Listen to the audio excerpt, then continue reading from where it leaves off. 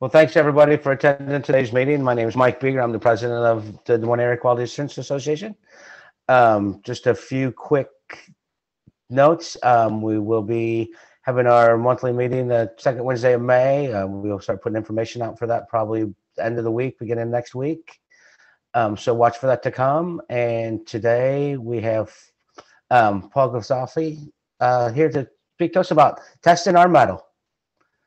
And so, Paul, if you want to go ahead and take it away, go for it.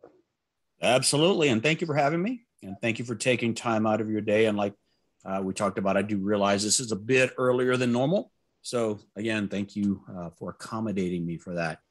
Um, so, the, the name of this talk is Testing in Metal. And the way this one came about is when I first started doing talks, I'm like, boy, I'd like to incorporate metal somehow. And then a, a major conference, like, hey, we want you to keynote. So I submitted the keynote and they're like, cool, is the keynote. And then about a month later, they went, Well, we've discovered you gave this keynote before. It's like, Well, number one, I told you that. And number two, I told you I was going to give you a, a, a, unique version of it. They said, No, no, no. What else you got? So I got this metal thing I've been batting around. They went, Yeah, yeah, yeah, we'll take that. And I went, Suckers.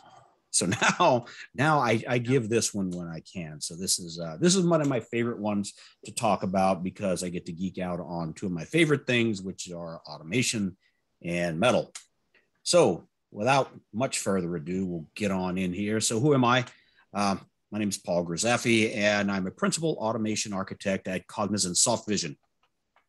I spent my career focused on automation with a little bit of a, a detour over into being director of QA for a while, but the whole automation thing was was so much of more of a draw for me that I, I went back to it I am an industry advisor for two different organizations. One is STPCon, uh, which is sort of morphed into a track at the upcoming InflectraCon, and for the Advanced Research Center of Software Testing and Quality Assurance at the University of Texas at Dallas.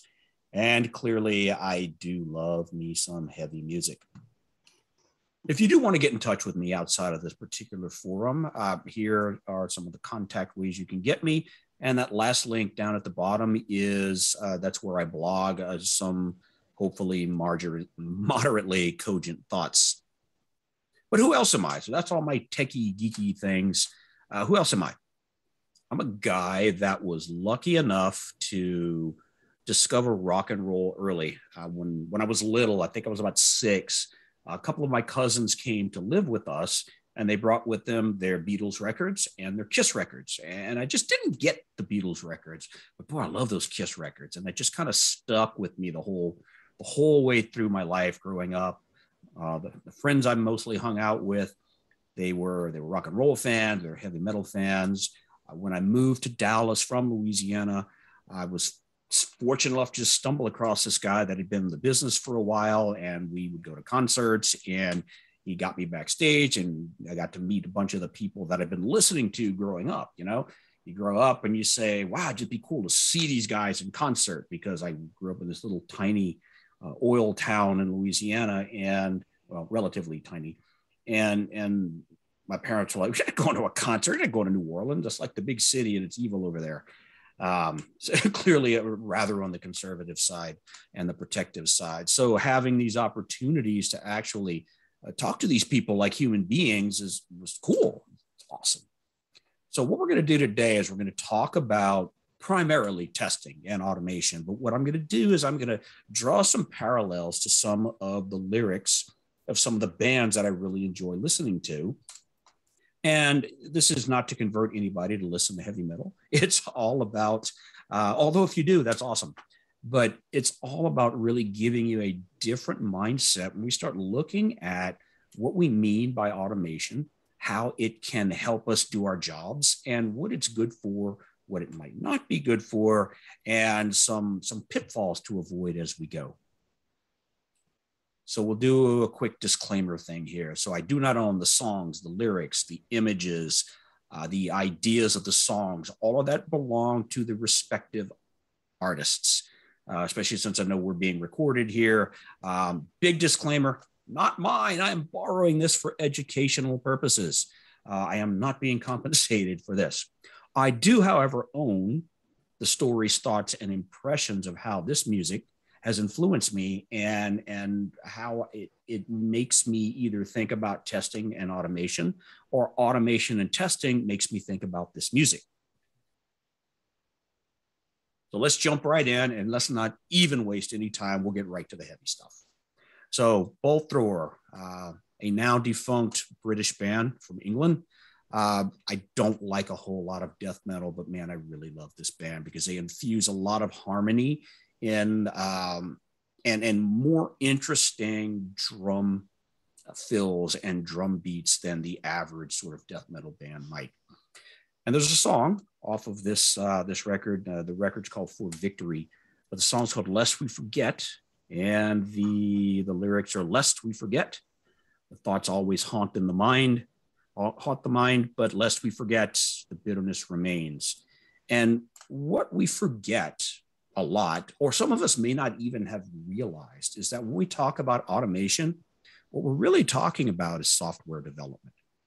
And we need to treat the automation that we create just like the application software, give or take, you know, just in quotes, because there are things that the application software does need to go through that the automation may not. And there are some things that the automation needs to go through and produce that the application code does not or isn't as important for it to do.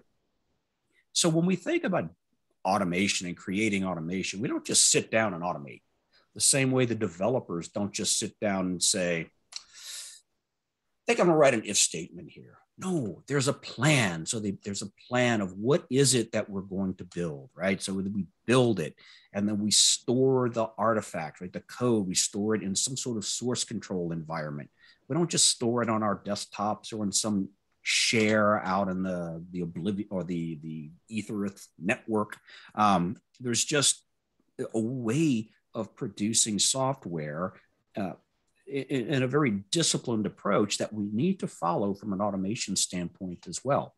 And most of these things really map directly toward what we need to do in most cases for our automation as well.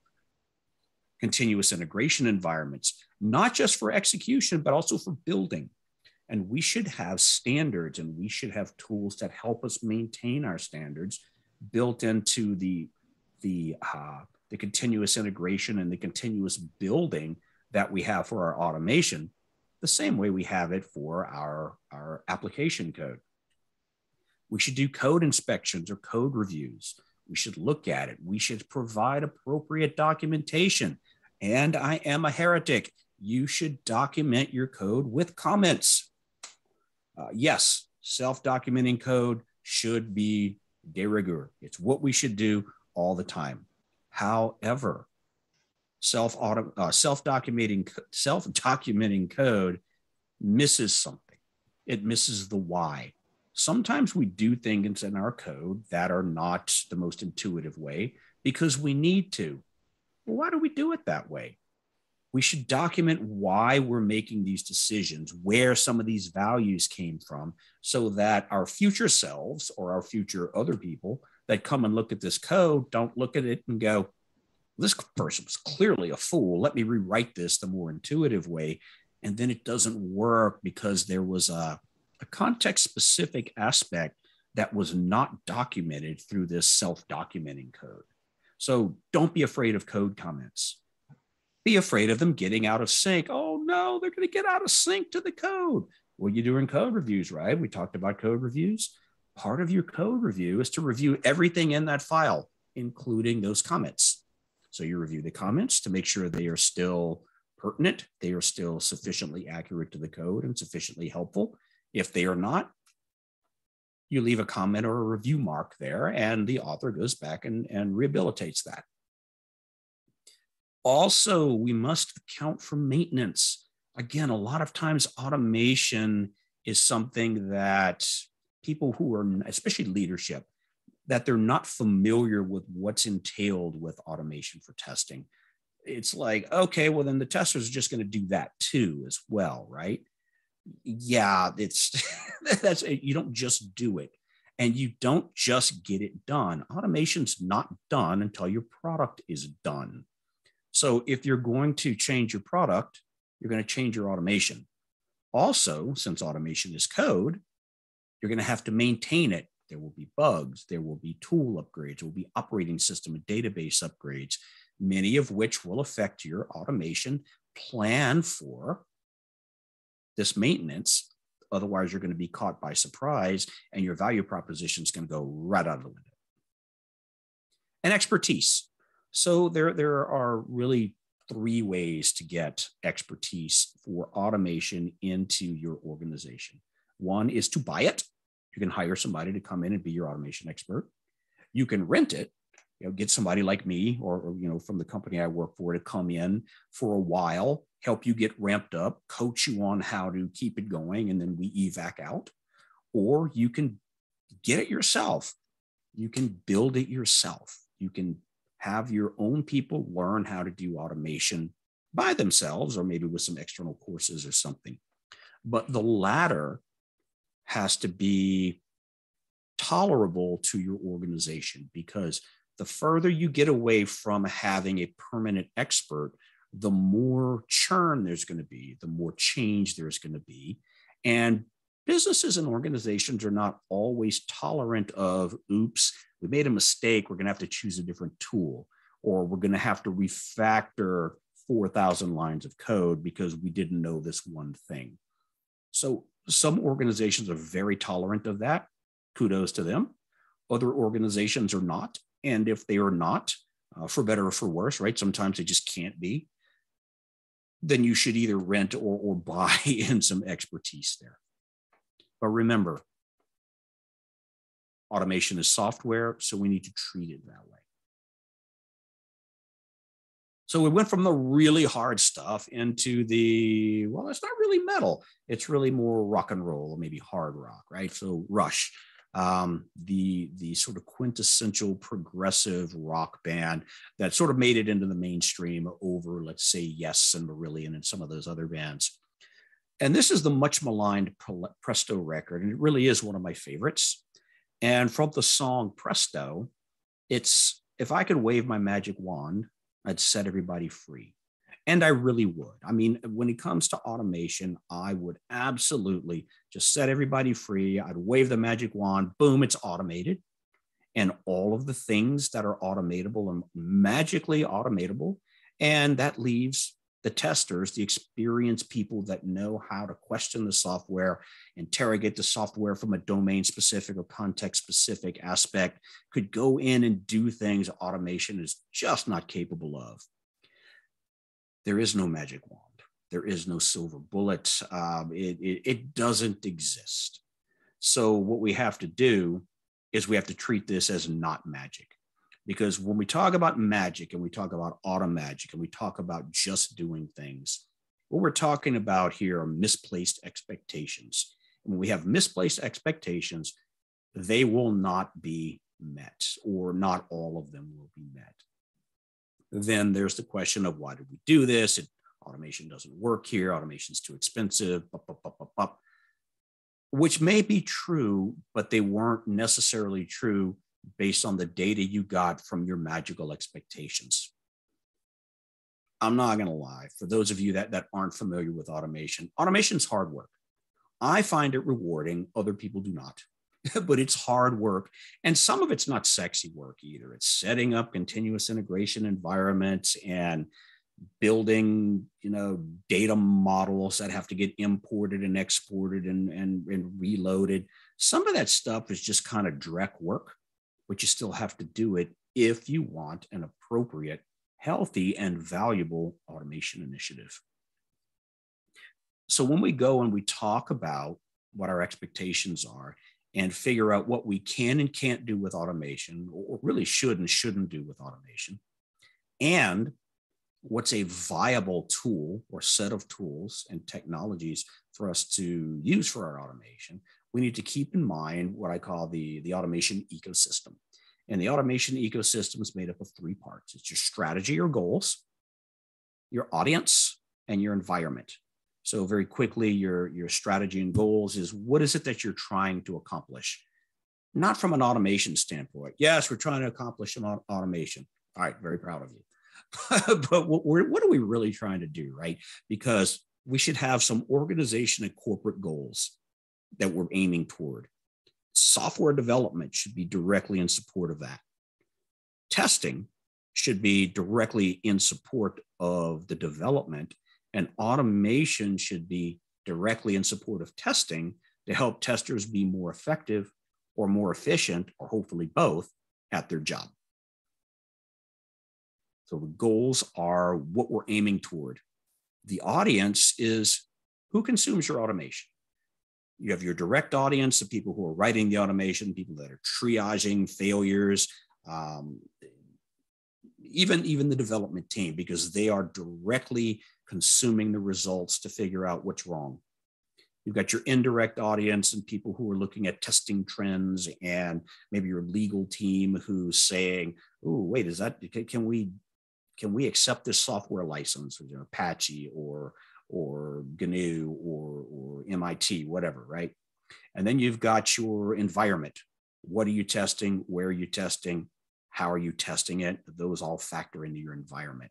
And all of those things roll together help you get your expectations in line. Because there is no magic, sadly. At least there's no magic in automation. There's magic in life. Um, my kids are eight, so there's still a lot of magic in their life, and I'm going to keep it that way as long as I can. Uh, but for us in automation, there's just not. So now let's switch over back to the hard stuff. Uh, Satyricon, one of the extreme or black metal, so to speak, bands. Um, I really like their record Diabolical now. It's uh, it's not their classic work that a lot of people really really go toward. I really like this one, and there's a the title song called Diabolical Now, and the, the lyrics that always have sort of gotten to me are the "You cannot kill what you cannot see. You can't find it, you can't take care of it. And this equates to me to logs. So when we deal with automation, we talk about automation being like software development. There's a key difference. And the key difference is let's say you're, you're building an e commerce site. What's the end result of an interaction with the e commerce site? It's not that email with the order number, it's the product came to your door. When that product is at your house, you're done. That's when you're really done. Automation's a little different.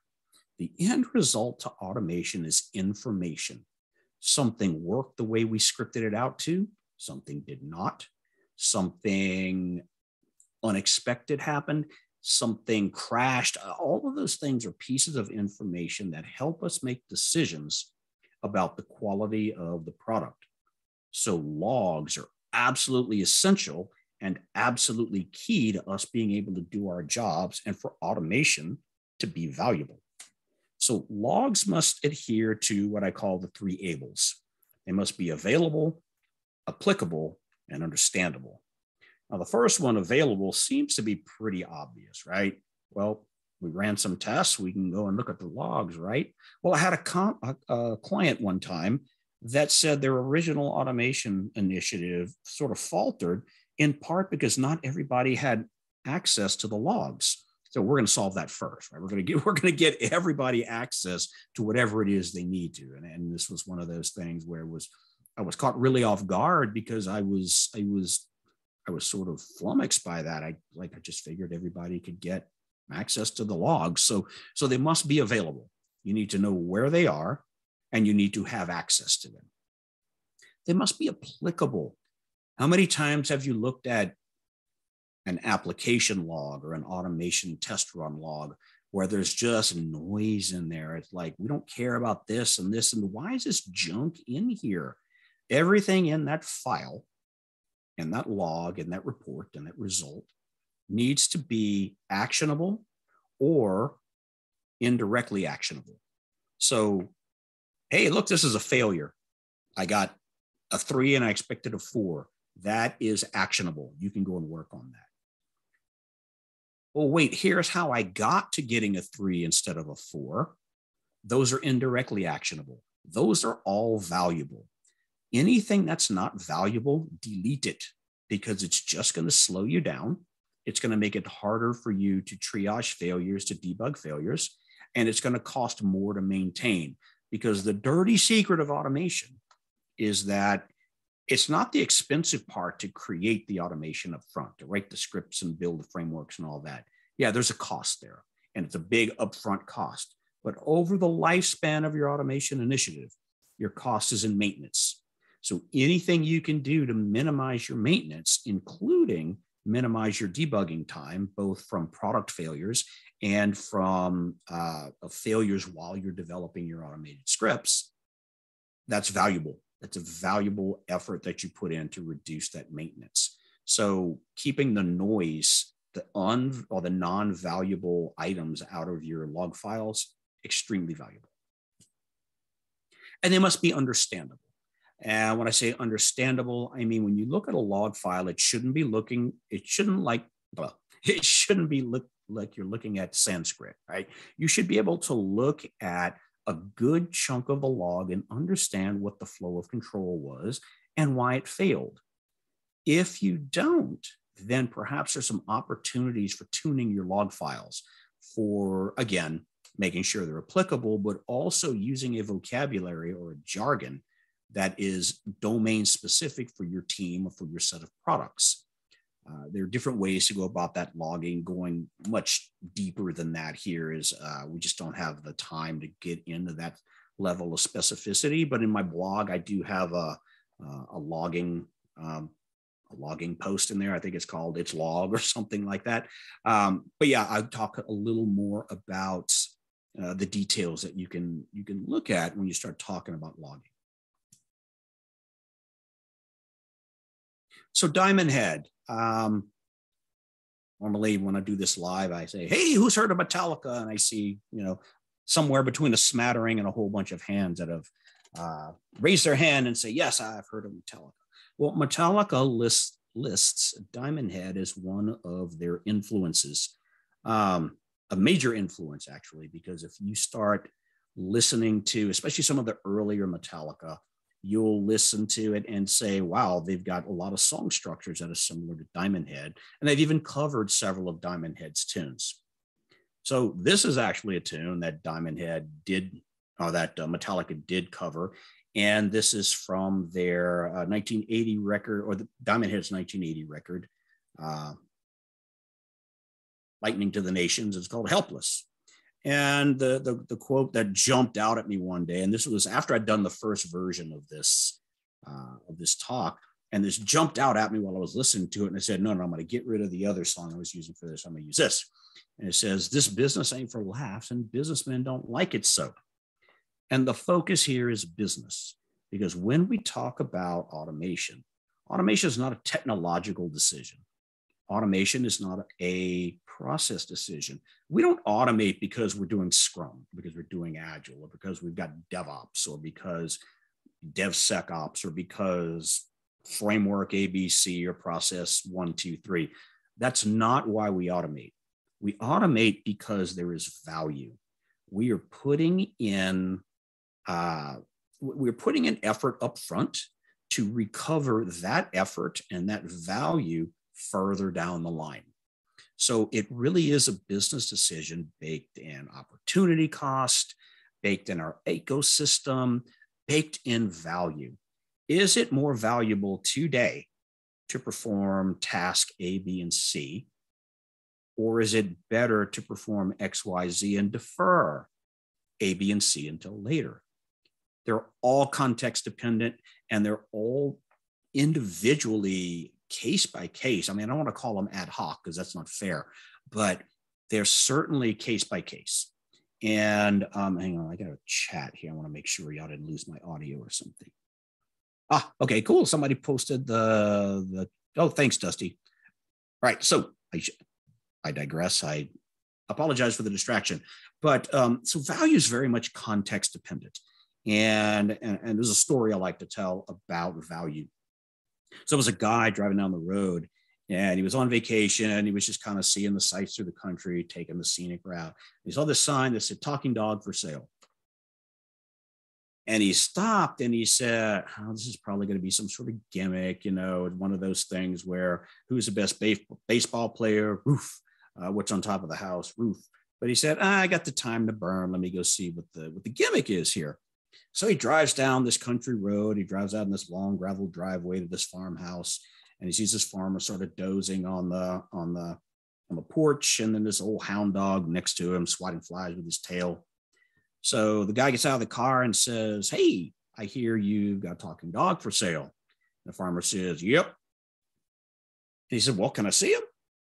The farmer says, Well, that's him right here. And the guy says, Well, this doesn't look like It's a talking dog, right? What, what kind of what kind of shtick are you trying to pull on me here? The farmer said, Well, ask him anything you want. So the man says, Okay, dog, how did you learn how to talk? So the dog opens his eyes, stands up, and says, Well, sir, when I was just a pup, I got recruited by the CIA and they taught me how to speak all these languages. And what they would do is they would put me in the in the rooms of all these foreign diplomats so that I could listen to what they were saying and then help prevent any sort of, you know, international violence and wars and stuff.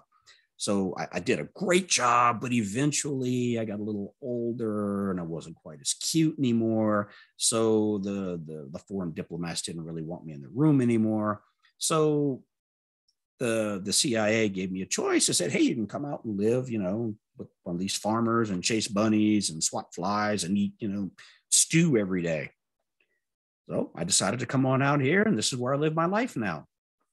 The traveler was incredulous. He said, Oh, my Lord, this is really a talking dog. How much do you want for this dog? The farmer said, $10. Again, the man was incredulous and said, $10 for a talking dog? Why so cheap? The farmer said, Oh, he's a liar. He ain't never done any of that stuff. This is where I would usually pause for laughter. But but but the the, the core of it, number one, I, I like that joke because you throw out two swear words and and you can tell it to people of any age but it really does kind of get to the core of value. The traveler valued that talking dog and thought 10 bucks for it was really good. The farmer, well, he valued the truth. He did not value the lies that the talking dog told. So he was eager to get rid of the dog for 10 bucks and everybody was going to get a value at that point. So value is very much context dependent. So you can always refer to the talking dog at that point. So, how long? There we go. So, Diamond Head was part of what was a uh, movement that was uh, sort of retroactively called the New Wave of British Heavy Metal. And another band from New Wave of British Heavy Metal was Raven. And Raven really is one of my favorite bands as well. Uh, one of the bands that I just sort of stumbled across on a mixtape that I bought from Walmart or TG&Y or something way back in the before times and just loved it, loved it, loved it, loved it. I've got all the records now. I have been fortunate enough to spend time with the band. Super cool dudes. John, if you're out there, thanks, man. Uh, this particular lyric is from their All for One record, and the song is All for One. And it's here the call, All for One, One for All, which sounds a little trite, uh, but totally works in the context of the song and totally works in the context of what we're talking about here from automation because from this third rave, this third album by Raven, it, it, it really speaks to the fact that automation is not a testing job. It's not a QA job, a QE job. Automation is a cross team endeavor and it's cross all the teams and cross the organization because obviously whoever's typing the keys for the automation needs to know how to program, right?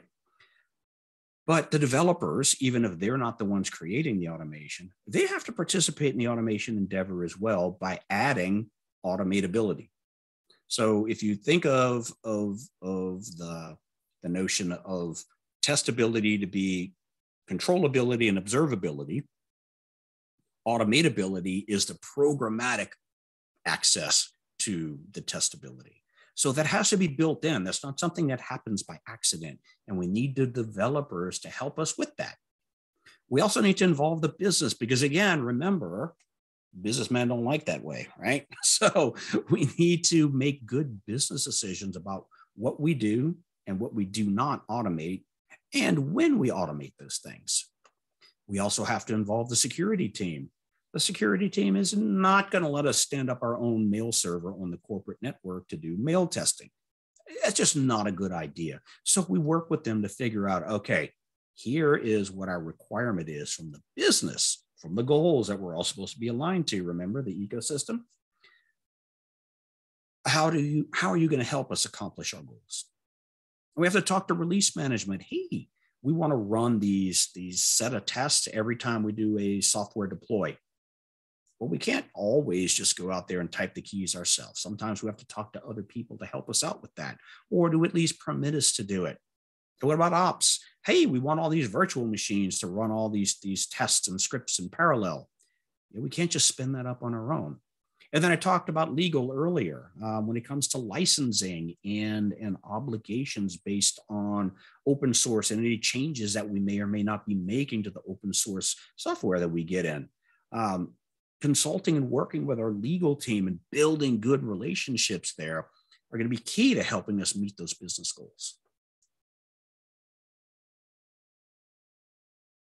So, also from the new wave of British heavy metal, likely the most notable and the most recognizable new wave of British heavy metal band, Iron Maiden, um, all sort of coming up through the same clubs at the same time as Raven and Diamond Head and um, Gaskin and all sorts of other bands out there. Iron Maiden has has gained probably the largest audience um, internationally of all those other bands. The particular song we're talking about here is from their album called Somewhere in Time. And the song is called Wasted Years. It was the first single off that record. And the lyrics that that again that really appeal and show me things in music that really appeal to or really apply to automation are so understand. Don't waste your time always searching for those wasted years. So really, this has a lot to do with touring and time and aging and, and all these these other sorts of uh, aspects of the lives of the people in the band. But really, for me, it's applying to something that we call the sunk cost fallacy. Uh, for those of you not familiar with the sunk cost fallacy, it's the cost incurred and not recoverable for what it is that you're doing. So, a lot of times we get attached to the money, effort, or time that's already spent oh, we've already spent $400,000 on this automation initiative with this tool. We can't just throw it away and start it over. That's the sunk cost fallacy, right? The fact that you're you're going to start throwing so so-called the good money after bad, right? You made a bad decision, you spent some money. It's not always easy to do this, and sometimes there are consequences to doing this, but sometimes the right thing to do from a value standpoint is to abandon what you're doing and start over, either in a flash cut or in some sort of evolutionary way. Um, this this this attachment to the money that we've spent often causes us to abandon logic and, and good business sense. So instead, what we need to do is when we build, think big and build small and evolve, pivoting when it's time because we go, we're going to learn as we go. And the goal would be to get the most value out of whatever it is we're building so that when we have to pivot and refactor, possibly rewrite as we go, we've got sufficient value that we've built up so far and sufficient runway that we can milk some value out of the old thing while we're creating the new thing. So we really have to keep that in mind uh, because we will all run into this if we've got an automation initiative at any appreciable age that we've had to go from the beginning until the end. And I live with this a lot of times because a lot of times my team is brought in to rehabilitate something. And the right answer is you really need to just end of life this and start fresh. Sometimes we really can't. We can come in and help you evolve what you have, but sometimes the right answer for your business goals and financially and and just from a value standpoint is to is to just cut the cord and then go on to the next thing. So now we go to Ozzy. Ozzy is probably my favorite artist uh, of all the things I listen to, of all the bands I listen to. Um, you know, Crazy Train comes on, and the boys go, "Dad, it's your favorite song." I mean, they, they even they know that that Ozzy's my thing. So this is the closing song from what was going to be his last record back in 1993. And what year is it now? Oh yeah, way after 1993. Uh, and the song's called "The Road to Nowhere." and the lyrics that, that have really appealed to me and my rock and roll buddy as well, but for different reasons. Uh, the wreckage of my past keeps haunting me. It just won't leave me alone. And what happens a lot of times with automation is we think of automation as a yes, no, black, white, on, off kind of thing. It is automated or it is not automated. So we really, really try to go that last mile. We try to get every little bit of the test, of the process, of the thing automated. And if we don't get it all, we consider it a failure.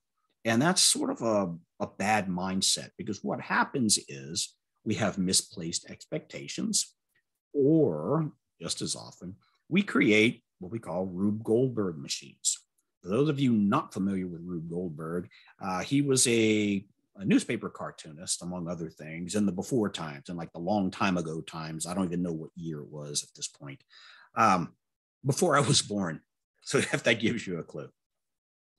But he had this, this talent for writing, they're making these cartoons of these fabulously complicated machines to do very mundane and simple things like one of the ones I always refer to is the automatic napkin.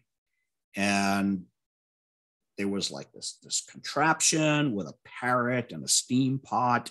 And um, I think there might have been, I don't know, there might have been a ball. But basically, all of these weird things like the game Mousetrap to do something very simple like wipe your mouth, but you've got this complicated machine to do it.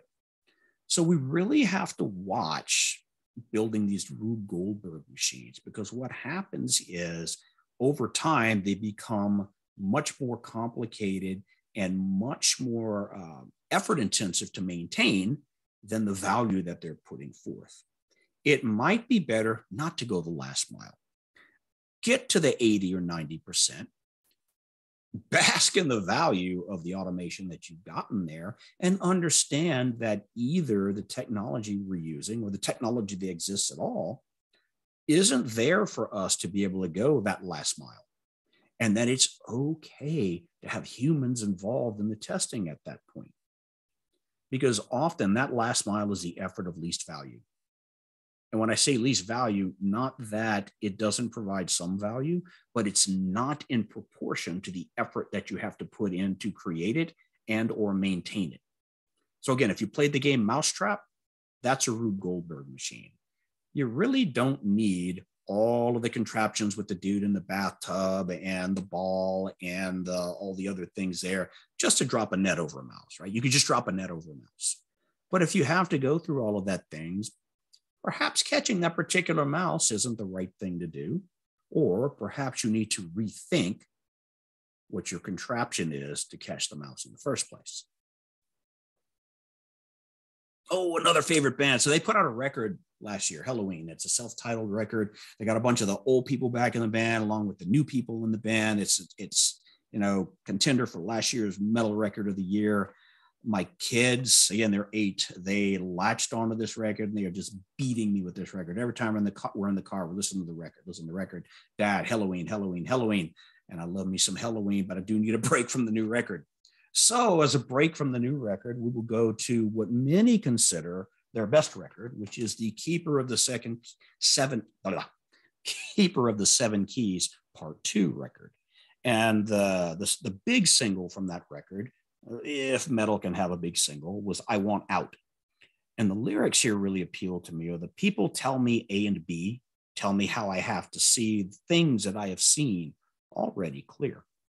So, what this echoes for me is all of the media, the social media, all the articles and blogs telling me about what the best tool is.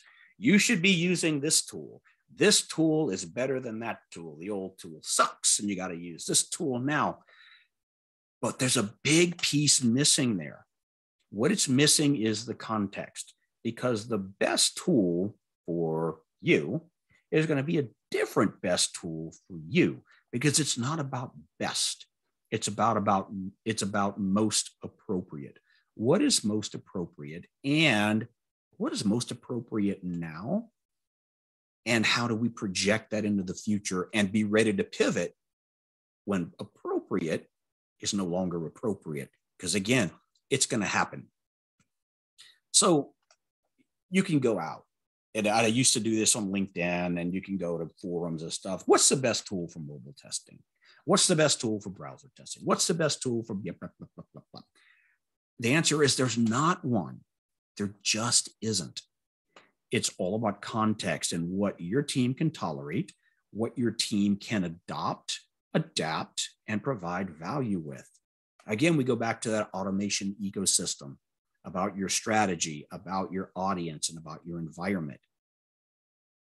When you ask those questions, or when people ask those questions, what's the best tool for Android automation? Wow, that's a huge question. It sounds small. Well, it's Appium, right? Well, not necessarily. Appium's an awesome tool. Using it now for, well, not mobile. I'm using it for a, a, a thick Windows client uh, along with Web app, WinAppDriver. And it's doing a great job. Are there other tools out there that could do that job? Yes. Are they better? I don't know. But in the context I'm working with, it's providing value. And we don't have a whole lot of uh, incentive to change because it's providing sufficient value for what we're doing. The dirty secret for this is that only we know our own context. Only you know your context, and only you know your context. Well, unless y'all work together. but but really, only we can answer those questions. Only we can build that uh, sort of the word model of our ecosystem to understand which tools are appropriate, which are not, and listening to the blogs and the posts and all that stuff, there's nothing wrong with that. Those are all great. That's all great information for you to take in and help you with your understanding of your ecosystem when it comes down to selecting a tool or a technology. But you can't just, or you really shouldn't just, use this tool because your friend over in this other company does, or because Talking Head thought leader over here says that that's the one they use. It has to be the best tool for you, not the best tool for me. So blind uh, Helloween falls into a category broadly of what's called power metal. Um, basically, think of Iron Maiden on speed. That's kind of what what power metal is. And this is another power metal band, also from Germany, called Blind Guardian. And this is my favorite Blind Guardian song of all time. It's called Imaginations from the Other Side, from the record also called Imaginations from the Other Side. And the lyrics are Imaginations from the Other Side, far out of nowhere. It got back to my mind. And the imagination part is what sticks with me here. Um, use your imagination. Automation is not take test case, shove through tool, get out test script. Um, automation is about providing assistance. It's about providing value. It's about helping testers do their job more effectively or more efficiently, or like I said earlier, hopefully both. Use your imagination, right? Go beyond this whole test case and test script thing because there is nothing wrong with that. Every client I've worked with, every company I've worked for, we've had test scripts based off test case, right? Automation based off of test cases. And in most cases, it's provided value. In some cases, a lot of value. So I'm not demonizing that or vilifying that. What I'm saying is that is an implementation of automation. It is not what automation is. So, what we need to do is if we can expand our definition of automation to consider not just the testing per se, but the crank turning. What is it about your job that's just repetitive or sucks or just is something a computer would be really good at so you could go do something else? Sure, Test case 647 didn't get automated today. But wow, I just saved us four hours of time every week because I automated this, this really terrible task that we have to do. There's value there. And that really is under that umbrella of automation, or what I call automation assist, right? The non traditional automation. And you can choose your own vocabulary there as long as all the people that you are, uh, that you're, you're speaking to understand what you're talking about. Okay, we're running a little short on time, so I am going to jump right to the last one here.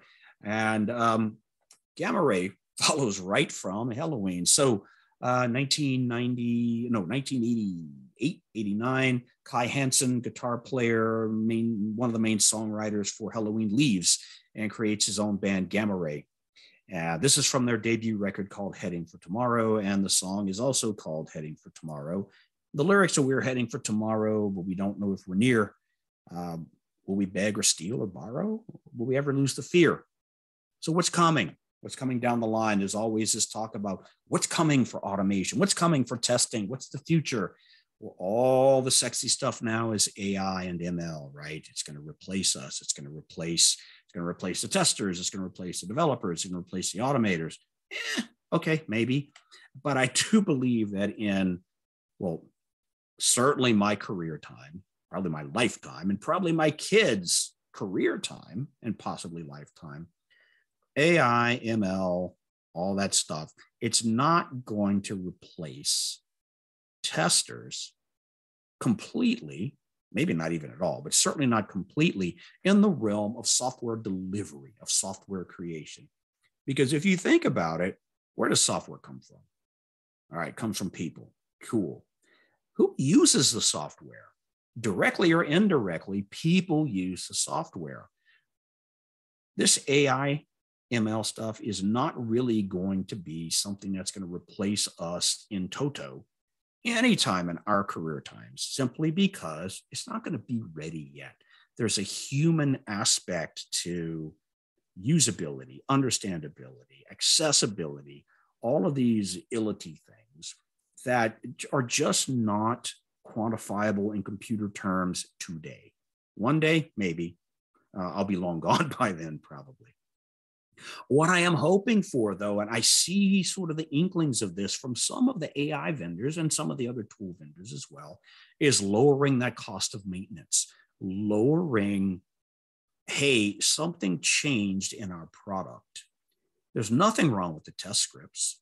The flow is still the same but the hooks, the seams, the handles, uh, whatever it is that we use to get into the tool for automatability, those things have changed. How can we minimize the effort there? And I really want the industry to focus on that. I start seeing this going.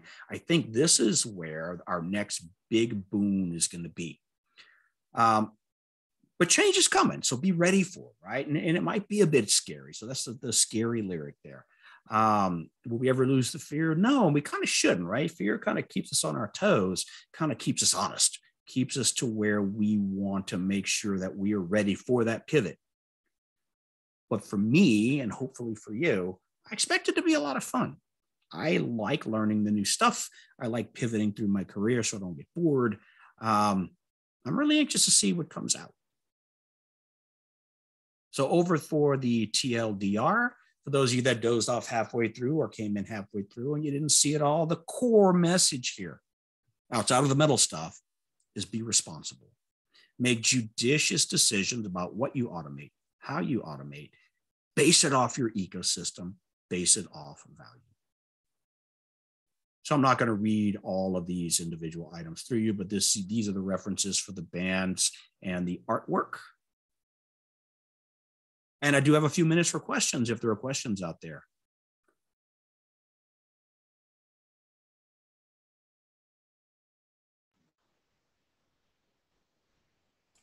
I'm watching the chat to see if anybody puts anything in there. Awesome. Yeah, fire it up or type it in the chat, whatever. I'm good.